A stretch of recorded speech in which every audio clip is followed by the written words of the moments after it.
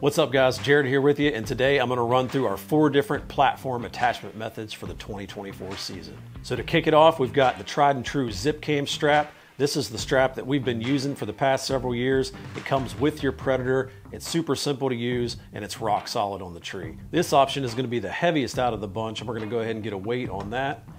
And it comes in at 7.7 ounces.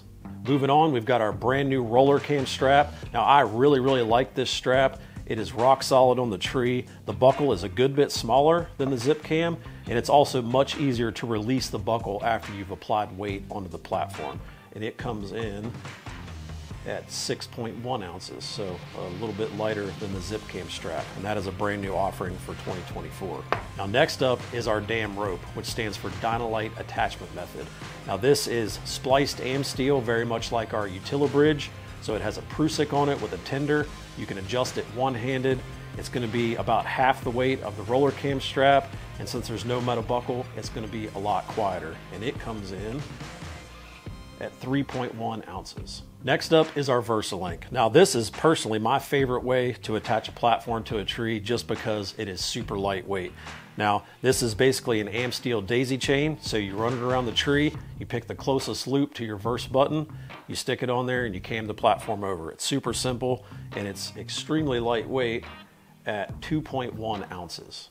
So if you want to go super simple and use the zip cam that comes with your platform, or if you want to go super lightweight and go with the VersaLink, we've got you covered with our four attachment methods for our platforms. So now we're gonna head to the woods. I'm gonna show you how to use all of these attachment methods and you can decide which one is gonna work for you. No matter which attachment method you use, all of them are super simple to use, but I'm gonna run through each one individually so you can see exactly how it works. So I've got our standard zip cam strap here. It's got a sewn loop in the webbing, so that simply goes over the button like so. And then you're gonna run the buckle end around the tree. Now you can switch this from side to side, so if you like it coming off the left-hand side or the right, it doesn't matter. So we're gonna run the buckle around, place it over our button, and then initially tighten it so it holds the platform up. From there, we're gonna fold the platform up and take out any remaining slack. Simply push down on the platform and cam it over, just like that. Now you may find that when you get on the platform, the standoff will be off of the tree. That's very simple to fix. Make sure you're tethered into the tree securely.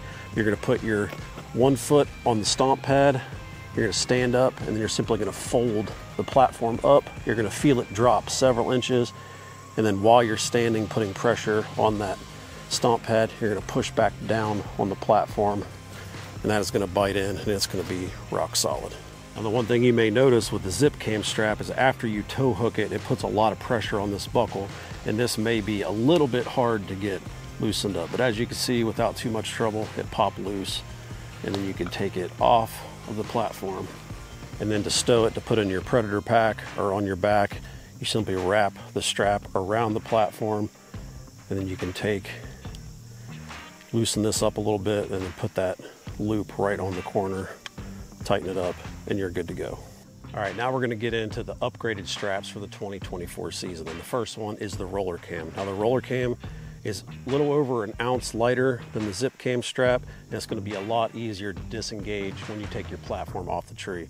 You can see it's a good bit smaller, it's a little bit lighter, it's gonna work just a little bit smoother than the standard zip cam. So let's throw this on the platform and see how it does.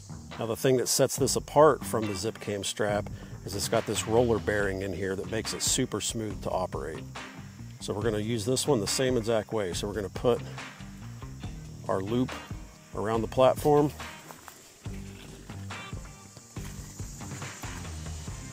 Run it around the tree here. Pop that loop over the button. Fold it up, tighten it down. And from there, simply push this down and cam the platform over. So as you can see, the top standoff isn't really coming off the tree, so tow hooking isn't totally necessary every single time, but typically I'm gonna go ahead and do it just to be safe. So that thing is absolutely rock solid.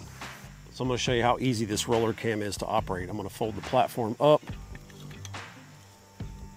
and then simply with one finger, I can loosen that up, and it loosens up super smooth and super easy. Just wrap up your excess. Pop your loop onto the corner of the platform, tighten it down, and you're ready to go. So now we're gonna put the dam rope on the platform. I'm gonna show you the difference between the roller cam, the zip cam, and the dam rope. So I'm gonna show you how to install that. And it's a little bit different than just putting your loop around the post. So what we're gonna do is fold this loop over onto the main line. Gonna pull that main line through and pull a loop into the rope just like that. And that is what's gonna go over our button. We're gonna tighten that down. Gonna get it nice and secure in there on the button. And you can, again, go left or right. It's all personal preference. So from there, we're gonna go ahead and install it on the tree. All right, now that we got our dam rope installed on the Predator V, we're gonna go around the tree with the main line. We're gonna take that Prusik and simply hook it in to the button. Make sure it's nice and secure. Now this has got a tender on the Prusik, so you can one hand adjust this. So it's the same deal. We're gonna tighten it initially. We're gonna fold the platform up, tighten it just a little bit more. And then while we're holding the main line with this hand, putting tension on that Prusik, we're gonna go ahead and push down and then cam it over. Now the difference between the dam rope or the zip cam and the roller cam is this is all spliced AmSteel. So when you initially set this and you get up on the platform, you're gonna have a good bit of space from your standoff to the tree. That's because all these splices have to get tightened and worked into the rope. So what I would suggest is to put the platform on the tree initially, then step up on it. Now, as you can see, it's pretty loose. So we're gonna put a little bit of pressure on it. I would highly recommend doing this at ground level well before you decide to hunt with it. So we're gonna put some pressure on it and then we're gonna step off of it. We're gonna fold the platform back up. We're gonna break that Prusik knot and then we're gonna retighten that. So I'm gonna slide the platform up the tree a little bit since it moved on me. I'm gonna break that Prusik. I'm gonna tighten that up while I'm pulling on the main line. I'm gonna push the platform down and I'm gonna go ahead and cam it over. Now by doing that, I should have all the splices worked in. The rope should be settled into itself and it should be nice and tight. So I'm gonna go ahead and step up on it. Now as you can see, the standoff's coming off of the tree just a little bit, so I'm gonna go ahead and tow hook it. And then as I'm pushing down, I'm gonna go ahead and cam the platform back over. So now it's good and tight, your splices are all set in, and now every time you use this rope, it's gonna be super easy. When you take this thing off the tree, simply fold it up. You've got enough slack now that you could pop the Prusik off of the button. Now you can wrap it up. Now what I would suggest is after you make one or two wraps right here, go ahead and break your Prusik free by flipping that little loop in the Prusik. Get that nice and loose for your next hunt. That way you're not fiddling with it. So I'm gonna put that about right in the middle of the platform and I'm gonna wrap it up. And then with the supplied bungee on the end of the rope, I'm simply gonna hook it over that loop and you're ready to go. So the reason I do that, and I park that Prusik knot right there, is when you go to put this on the tree, the Prusik knot is pretty much already set. So as you can see, all I got to do is loosen it a little bit and then attach it, tighten it up. I'm doing this in real time so you can see it. There you go, that thing's set just like that. And last but certainly not least, we've got our lightest connection method with the VersaLink paired up with our CFX regular size. So I'm gonna show you how to use this real quick. Simply undo the supplied bungee ball. You're going to take this loop right here. You're going to girth hitch it around the platform, just like our other options. You're going to pull a loop into the VersaLink like that. Cinch it tight on the platform, just like this.